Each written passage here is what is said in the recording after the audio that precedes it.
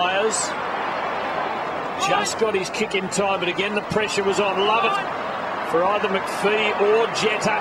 Jetta clever and quick and visionary. Winderlich should be able to kick a goal from there, and he does. The Bombers needed it.